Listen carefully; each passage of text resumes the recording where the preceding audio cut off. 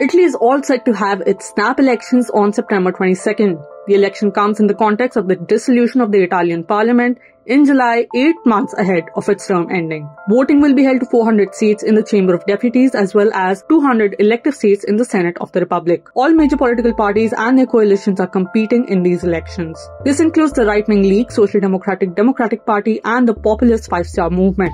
Leftist parties have also launched an electoral platform called the People's Union and have begun campaigning across the country. The People's Union was launched on July 9th comprising Potere al Popolo, Democracy and Autonomy, Communist Refoundation Party, Manifesta, Socialist Rebirth and Party of the South. They have put forward a 12-point program in their manifesto titled The Italy We Need. Unione Popolare Popoli Union has a 12-point program uh, and this 12 points program is organized around four main uh, axis. The first axis is peace. So we are against war, of course. We are one of the only uh, alliance in these elections who is positioning ourselves against war directly and concretely. The second point is labor and wealth redistribution.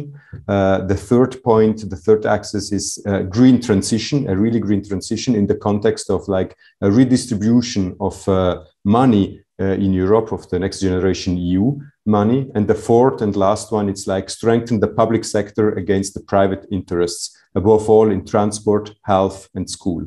So, uh, I mean, it's clear that in this context, in this conjuncture, like in Italy with the Draghi government, every that was a, a government of national unity, every uh, single party sustained and supported the intervention of Italy in uh, the war in Ukraine, and that had huge consequences for the working class and for the people. We are an organization, we are an alliance that is saying we are against the militarization of the Ukrainian war and of our societies in general. Uh, we have to stop sending the weapons to Ukraine. We have to stop using the military bases in Italy of the US and the NATO to get involved into the war. And we have to stop increasing the military expenditure uh, to 2% of the GDP, how um, uh, NATO and the US is asking. Uh, the money is needed for solving uh, everyday problems of the working class and of the people, as for example, energy bills increasing uh, in Italy by 100, 200, or even 300% in the last months. So the money is needed uh, uh, and we know where to find the money. We have to taxing the extra profits of the private energy companies. You have to stop to spend the money for for war in Europe and all over the world. Then a second main point and the main campaign, Potere al Popolo and Unione Popolare, is uh, running since months. It's we are fighting for a legal minimum wage uh, from of at least 10 euro per hour. Uh, officially, 5.5 million workers uh, are earning less than 10 euro per hour, and uh, they are considered working poor. That means that they are uh, have they have really problems to get uh, at the end of the month by paying bill, bills and so on and so on. And on this 5.5 million uh, workers being working poor, uh, from the statistics, statistics are excluded also people not uh, working regularly and uh, being integrated in irregular work. So the official number of people, of working poor people, it's even higher. So this is a measure, a very concrete measure that is solving social problems in Italy. And every single party in the, in the parliament today is not is fighting against a legal minimum wage. They give the responsibility to, to the companies and are saying the companies should decide by themselves how much they should pay. They should have social responsibilities. And we know that in the situation of crisis, social responsibility is not like a social thing, but it's a private thing. Private interests are always put uh, uh, before the general interest. So we say the state has to intervene, the state has to define a legal minimum wage. We have already uh, also uh, um, a law proposition prepared. We will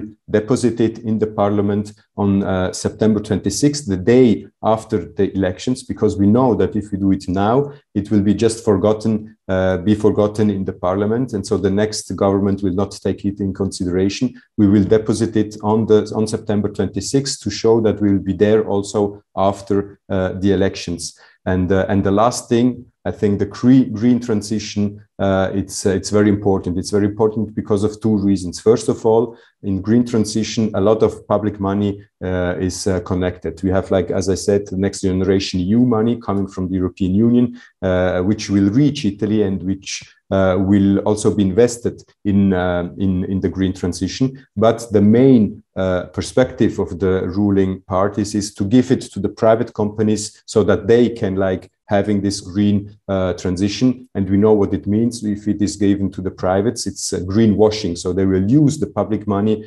just to greenwash themselves. We say, no, we have to strengthen the public sector, above all in the transport uh, um, sector, because uh, the Germany showed it uh, last month. They they had like a, a very cheap free ticket for everyone, nine euro per month to uh, to to have public transport, access to public transport, and a lot of people took public transport. They let the the, the cars uh, at home, and also the emissions uh, went down. So there is a very concrete uh, a concrete way to fight against uh, the, the, the, ecological crisis uh, all over the world. And we say that we need to invest in, pub- in the public to solve this problem.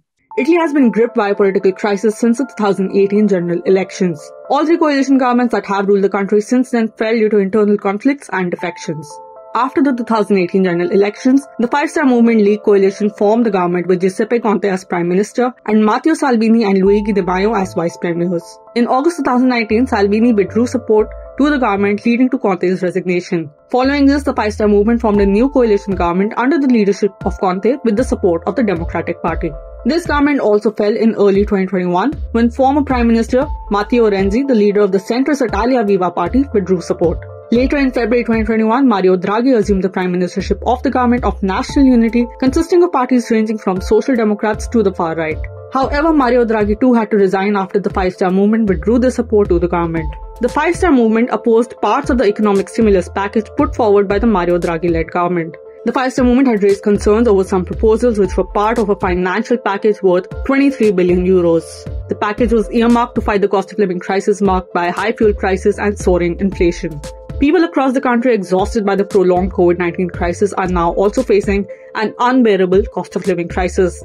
Progressive sections of Italy, especially the left and trade unions, have been waging militant struggles against this. The crisis has been deemed to be a result of the years of austerity measures in the name of neoliberal economic policies. The elections will decide if there will be a continuation of the neoliberal policies of the previous governments.